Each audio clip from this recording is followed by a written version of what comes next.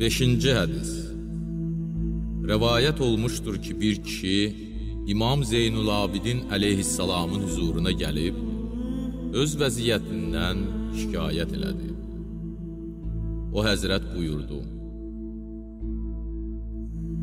Yazıq Adəm övladı, onun üçün hər gün üç bəla və müsibət vardır. Amma onların heç birindən ibrət almır. Əgər ibrət alsa, dünyanın işləri və bəlaları onun üçün asan olar. Birinci bəla hər gün onun ömrünün azalmasıdır. Doğrudan da, əgər onun var dövlətində çatışmamazlıq olsa, kədərlənər, qüssəli olar. Halbuki əldən getmiş dirhəmlərin yerini sonradan gələn dirhəmlər doldurar. Ancaq ömrü heç nə qaytara bilməz. Onun yerini heç bir şey tutmaz. İkinci bəla və müsibət onun ruzisidir. Əgər halal olsa, ondan hesabat alacaqlar. Və əgər haram olsa, ona əzab verəcəklər. Üçüncü bəla isə bunlardan da böyükdür. Nədir deyə soruşdular. Həzrət buyurdu.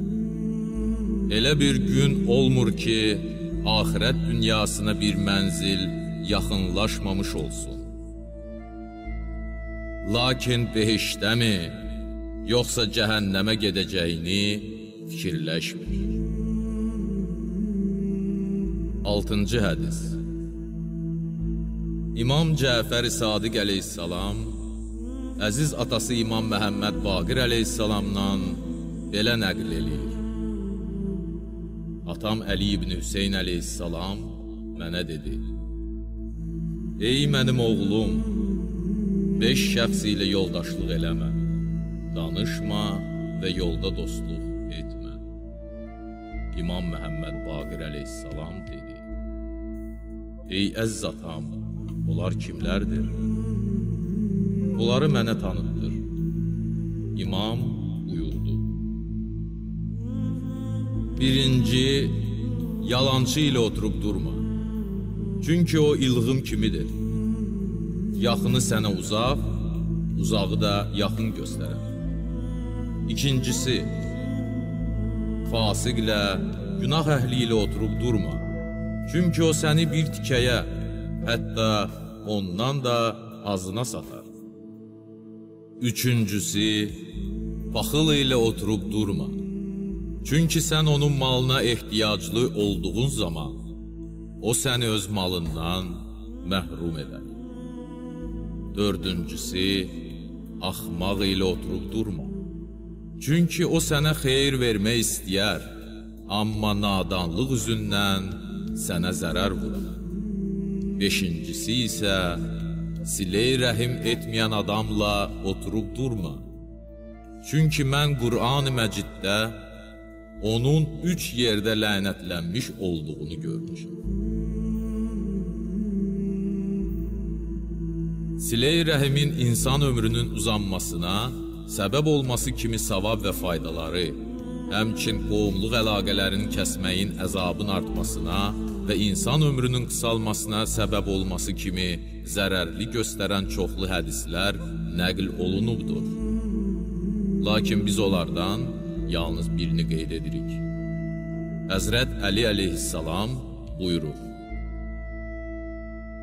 Bir kişi Peyğəmbər sallallahu aleyhi və aleyhi və səlləmin hüzuruna gəlib ərz etdi. Mənə elə bir əməli öyrət ki, Allah və onun məxluqları məni çox istəsin. Malım artsın, canım sağlam olsun, ömrüm uzansın və qiyamət günü səninlə birlikdə dirilim. Həzrət buyurdu, Bu altı xislətin digər altı xislətə ehtiyacı vardır. Əgər Allahın səni çox sevməsini istəyirsənsə, Allahdan qorx və pərhiskar, təqvalı ol.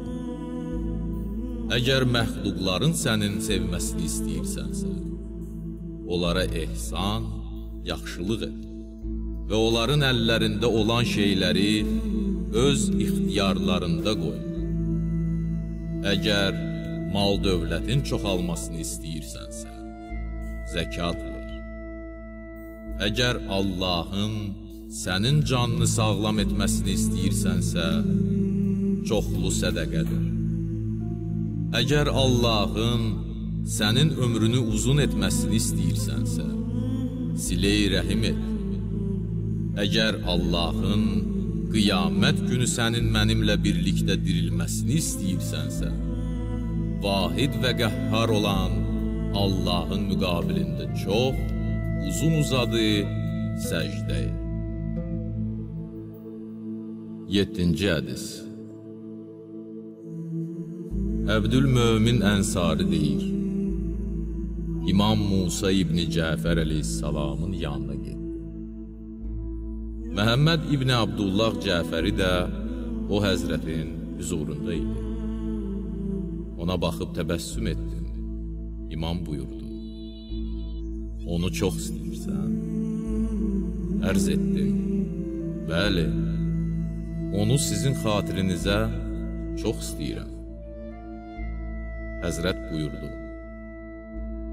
o sənin qardaşındır. Mömin, möminin qardaşıdır. Hərçənd ata-anadan ayrı olsalar da. Sonra buyurdu, məlundur öz qardaşını müttəhim edən şəxs. Məlundur öz qardaşını aldadan şəxs. Məlundur öz qardaşına nəsihət verməyən şəxs. Məlundur öz qardaşının qeybətini edən şəxs. 8-ci hədis İmam Rıza əleyhissalamın xidmətçisi Haris İbni Dilhas deyir. İmam Rıza əleyhissalamın belə buyurduğunu eşitdim. Mömində üç xislət olmayanca həqiqi mömin olmaz. Öz Rəbbindən olan bir sünnə, öz Peyğəmbərindən olan bir sünnə və öz imamından olan bir sünnə. Allahdan olan sünnə onun sirrini saxlamaqdır. Allah Taala buyurur: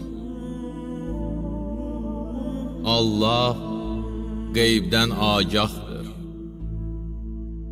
Öz qeybini seçdiyi peyğəmbərdən başqa heç kəsə agah eləməz. Peyğəmbərin sünnəsi cəmaatla yaxşı rəftar etməsi, keçinməsidir. Həqiqətən Allah Taala öz peyğəmbərinə cəmaatla keçinməyi əmr edərək buyurmuşdur. Əff elə, əmr be məruf et və cahillərdən uzaqlaş.